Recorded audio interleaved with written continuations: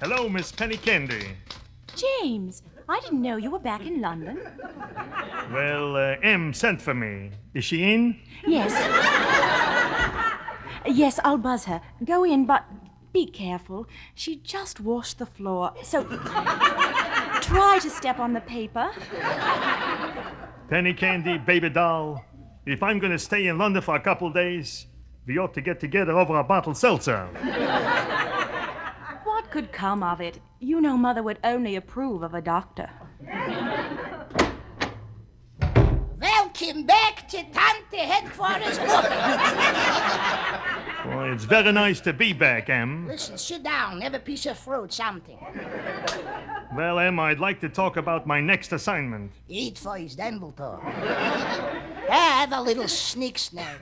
I, I would, but uh, I got some nice chopped liver, some yesterday's chicken, well, I a little soup, a little fish. What? I'm really not hungry. I ate already on the plane. You ate on the plane. You call that eating? It's plain poison. In such small portions. Please, Em, what about the new job? Don't open a big mouth to me, Jake. Try to remember what M stands for. All right, Mama. Please don't nag me. And it isn't Jake anymore, it's James. You may be James to the royal sonny boy, but to your mama, you will always be Jake. what do you think? It's easy for me? Running the organization? Trying to figure out the plans and the schemes and the menus? trying to pay the bills and trying to save a little? Washing and cooking and mowing? I do it for me? Who do I do it for? I do it for you. I know, Ma. All right already, I know. Well, you should watch your mouth, that's all. now, wait, here's the thing.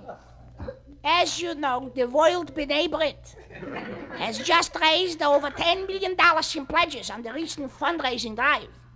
Yes, I know that. Naturally, Trafe would give anything to get the names of the biggest pledges so that they could eliminate them before they're paying up the pledges.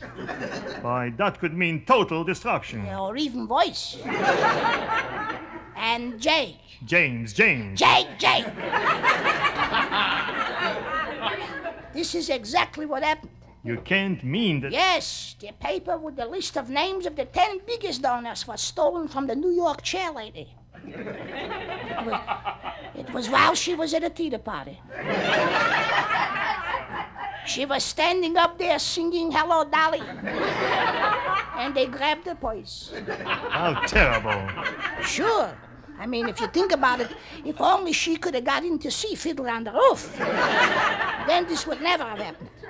But be that as it may, Trafe has got the list of names, and they are about to distribute them to their agents around the world. You got to go by New York and find that list.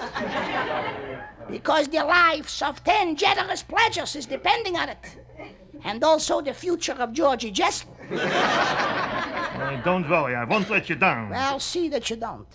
Now, we'll go over to the weapons room and we'll give you the latest scientific inventions to help you in the work.